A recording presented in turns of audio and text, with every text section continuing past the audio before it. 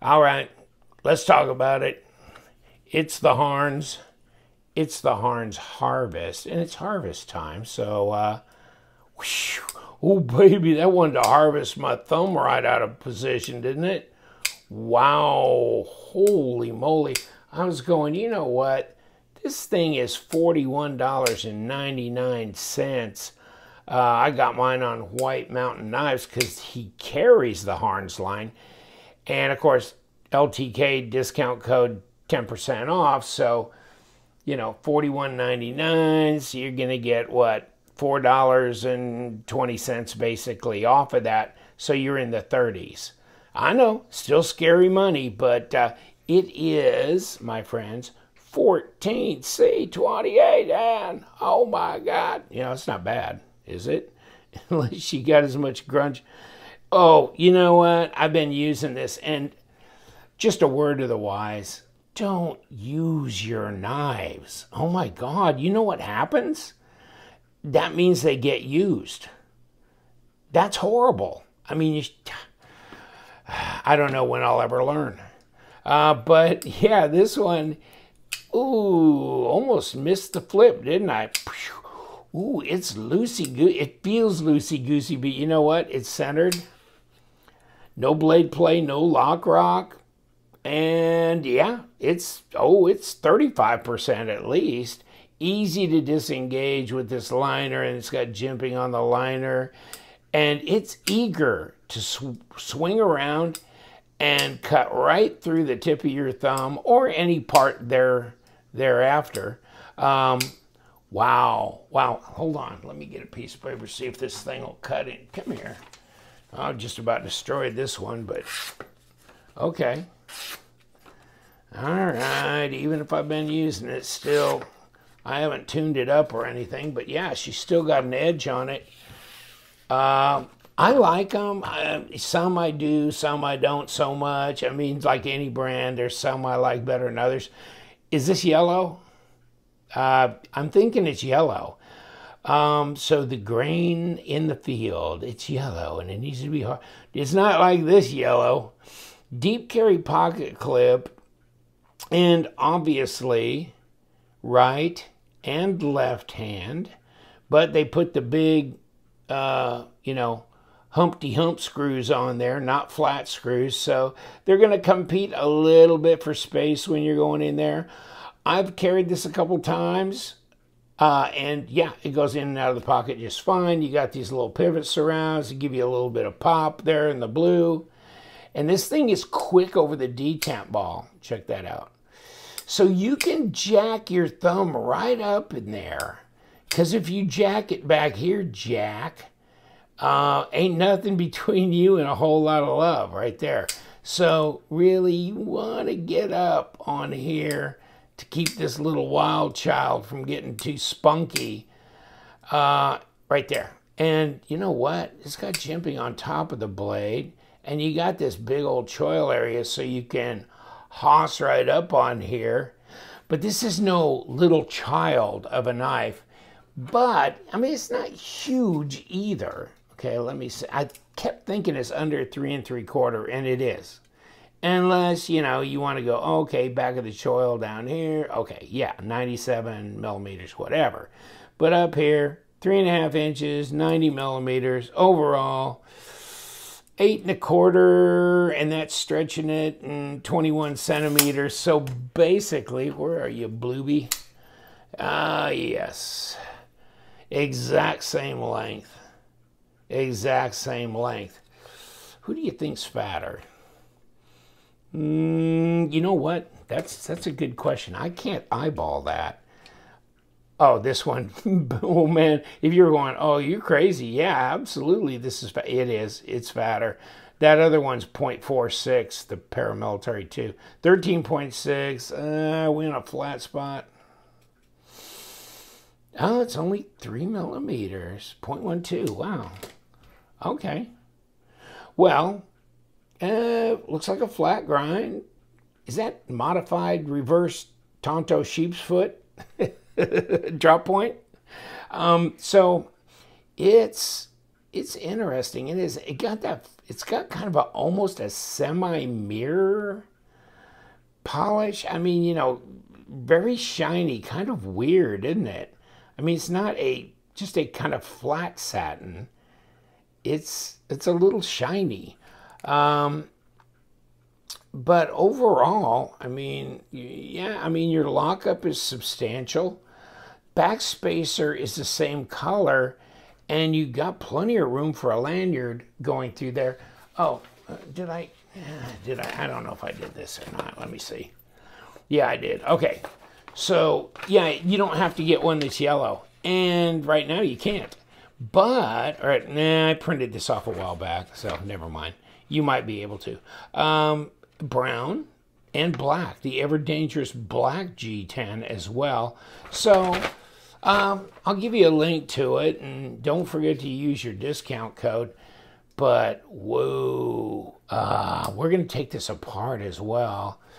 Uh, the design flow is nice. It goes right into the bolster down here. Um, this is Grippy G10. And the fact is, oh, this is pretty good. There goes Westminster. Um, I didn't know I was in London even. Um, I'd say the ergos are pretty good actually, and they give you a big pass through here. I mean, you can you can get way back here, see if you can chop three fingers off then, especially if you take blood thinner. Um, but no, I mean this one um, a lot of knives you can't do this on. You can't choke that much up because they still aren't over the detent ball. But this one is, and look at, I mean, you're not really even trying. It's just dropping. Uh, so it is a bit more guillotine-ish than those ones where you want to shake them down, shake them down. This one, uh, you shake it, she's already baked it. I mean, she's already down. So, um, okay, I mean, that's good. I like the overall design. I think it looks like a fairly useful blade, too. And it's, you know, like I used to say, cheap as chips. I got that off of uh, Wheeler Dealer, Mike Brewer. Cheap as chips.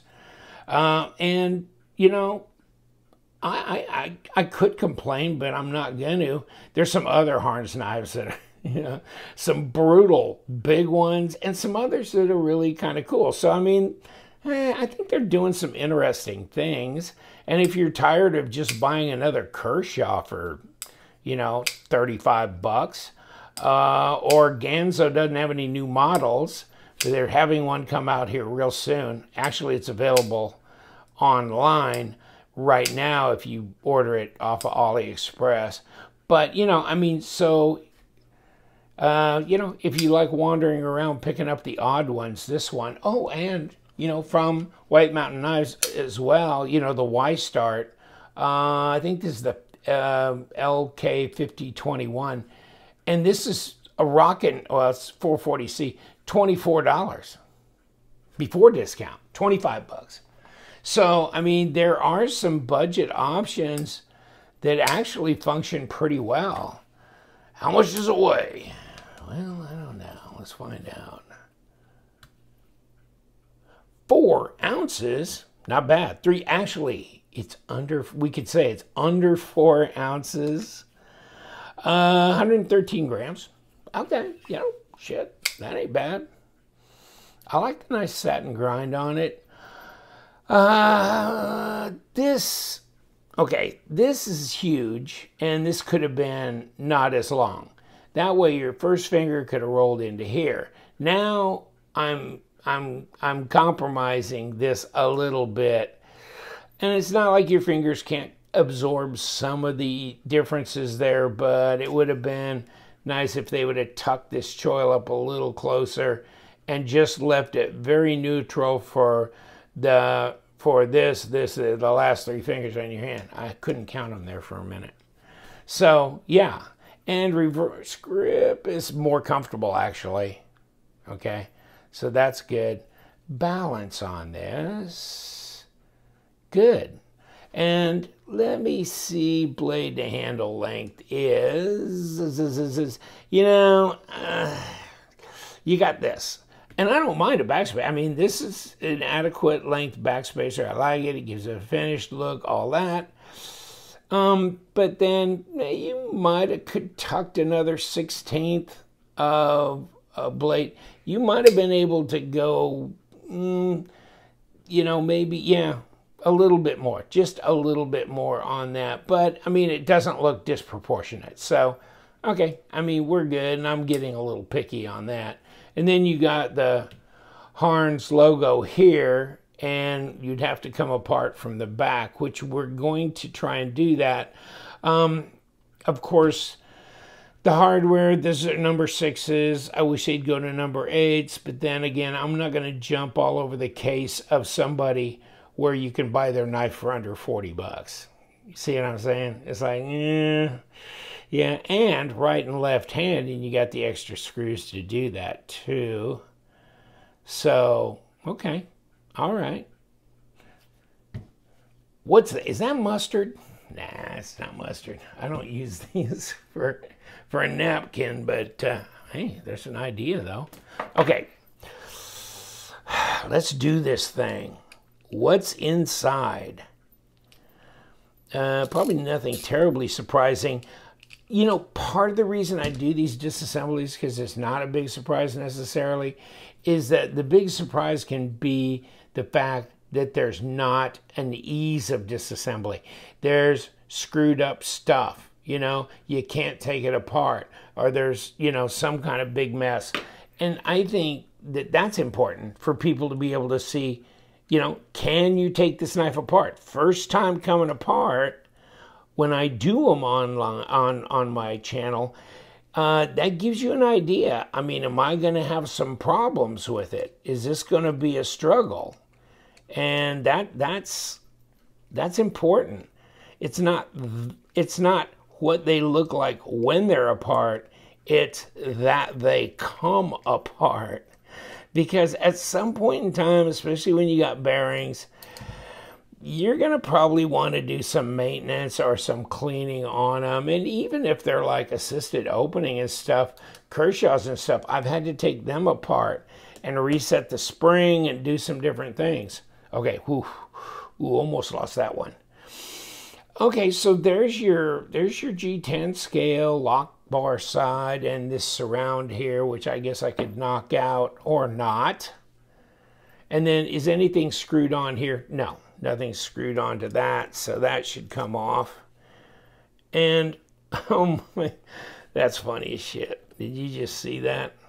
Okay, ceramic detent ball. Seriously? I mean, what's this, 38 bucks? Come on. Um, it's ceramic bearings on the pivot. That's kind of a bonus. I didn't expect that. I really didn't. Uh, I think that that's, you know, um, also nested, these liners are in here. So usually the liners when they're nested are not quite as thick as ones that show, but these aren't far off. Now they didn't go to a lot of trouble like stone washing them or anything, but they're not sharp. Okay, so they are smooth. They just, that looks a little funky monkey there. Like they torched it out, but never really quite, you know, did a lot of cleanup on those edges. And that's probably just a function of the fact that, hey, uh, you know, you want us to do that? We add another five bucks to the deal or whatever. So, uh, nah, it doesn't bother me as long as it's not ragged or a sharp edge. And there's your there's your roll around right here. Little bit of tinge it looks like from some kind of grinding on the back here, which I'm sure they do to get that right for the uh, lockup. But yeah, um, I mean, the plunge looks pretty symmetrical altogether. I mean, I'm not going to complain. An extra little kick here is look at the pivot. First of all, it's not a three piece pivot. It's not a tube with a screw on both sides. It's a two piece and then flat, okay? And so is this. So it's not going to turn. And of course, you got no access in here anyhow because it's got their logo on it. So that's a good thing. I mean, so they did that too. that's all included in that price. I'm, I, you know, I see value there. And there's your stop, and that's not bad. And I guess, you know what? Could take a minute to check that. 0.13, about three and a half millimeter. That's not bad. I've seen them as thick as, as thin as three, but I've seen them as thick as like five. So it's in there. It, it doesn't need to be any heavier than that. And it's anchored in the steel liners, which are not really that thin, are they? And I'll bet they're a couple millimeters at 1.5. Okay. They're, they're solid. They're solid. I'm not bending it. Uh, I could if I really went to the trouble, but you know, they're, they're, they're sturdy. All right, we're laid out and we're going to get laid back because we're going to put it back together. And there you go. Um, bingo, we're going right through that flattened area, so we're good. Got that on there. And if I can find my KPL lube, which it takes me, it, I mean, it takes me forever to get through a bottle of this. And so I like it for that. And it's really easy to grab. And I like the little nozzle. So, hey, I'm good. And, you know, the easier the better. I mean, make it easy on yourself. You don't need to get too complicated. Blade on here. More bearings. More goop. Really interesting to put ceramics in here. I mean, not like they really had to. Uh, but okay, so we're hooked into the stop and everything. We're good. Then we're going to nest this right down on top of there. Okay. And then we have the pivot screw, which we need to start that at the right to make sure we're good. Okay, we are. Okay. Uh, uh, uh. Take you down. I could feel that blade moving into the right position. And then number six is nothing fancy about this hardware here, but it comes apart and goes back together. I'm not wallering anything out. It doesn't seem overly soft, and I'm not having to get brutal on it regardless. So uh, that's a good thing. And let's hope these screws can settle back down in there, and then we can make it easy to just drop these in Okay. And let's do that. Oh, good. We set you right down. And uh, let's set you in here.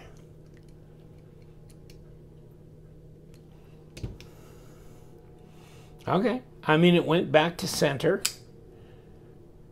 And uh, it's not as guillotinish as it was. Let's wipe the blade off a minute.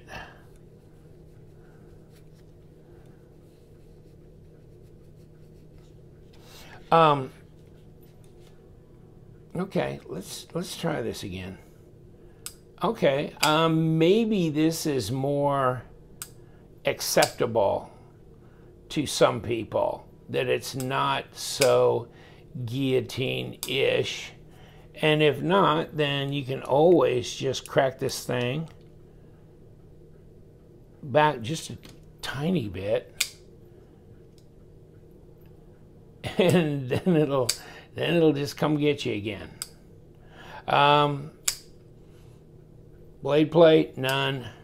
Centered, still centered. Okay, so that's the way it was before we took it apart a little bit more aggressive as far as the drop goes. But that's all right with me. So, got a great fidget factor. Just don't let it become your digit factor. You know what I mean? like your digits disappear because you ain't backed up onto this flipper tab here. And of course, it's jimped. And you know that flipper tab? Not bad. It doesn't need to be any bigger, but it's not it's not brutally big. It's not that bad. Push button, push button. No, it does, like I was joking about, but seriously, it does have a great fidget factor to it. So you want fidget factor under $40. Oh, maybe that should be my title. Fidget factor under 40. It's the Harnds Harvest. And you don't have to get it in Harvest Gold. 1970s is calling. They want their Harvest Gold back. If you were alive during then, did your mom have a Harvest Gold stove or refrigerator? but it wasn't this color. It was truly Harvest Gold. All right, get out of here. Love them knives? Yes, we do. And you guys, stay sharp.